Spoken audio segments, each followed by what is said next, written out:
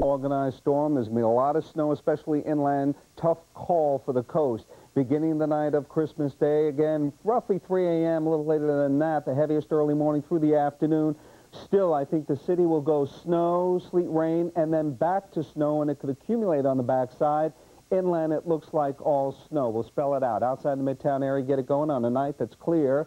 Some clouds around, temperature reading 40, humidity 46. West 7, split high and low 45 and 38 degrees. For us, though, when you take a look at temps, it, it, really is critical this time of year. Last time we had a white Christmas, 1995, a trace. It has snowed 16 times on Christmas Day, the biggest 1909, 7 inches, and this time we could beat that. At 40, we're mild, but the cold air is trying to get in, that's one. The night will be very tranquil around here. Again, as we put this map into motion, you'll be able to see nothing going on.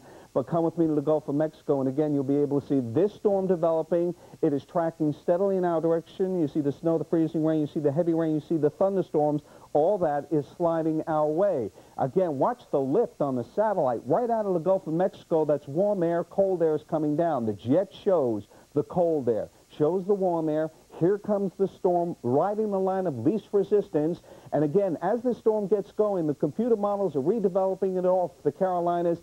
And this is going to be a very, very tough call. It looks like, again, the coastal sections, as we track this storm, will mix. Start out with snow, get to sleet, get to rain inland. This will be a big-time snowstorm. It could even be big for the coast. We're going to just have to watch it. A white Christmas for sure, north and west of the city. Goes like this. For the remainder of tonight, by the way, the inland area, six inches plus. The city could be two to five. Southern New Jersey should be all rain. But this is a preliminary estimate. For the remainder of tonight, everybody, it goes like this. Partly cloudy, 28 to 33 for tomorrow. Again, a good day, partly cloudy skies, 37 to 42. Here's your five-day forecast, and it goes like this.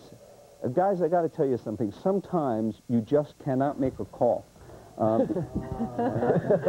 man, oh man. Talk about hedging before we even get there. These are my friends, everybody. Wait till you meet my enemies. Anyhow, we'll check out this storm tomorrow. All right. Okay. It's exciting. All right. Uh, also exciting, these football teams we got around here, huh? Very, uh, a lot of permutations. Permutations? Permutations. It's tough to call it, like Mr. G said. Well, permute away. Permute. well...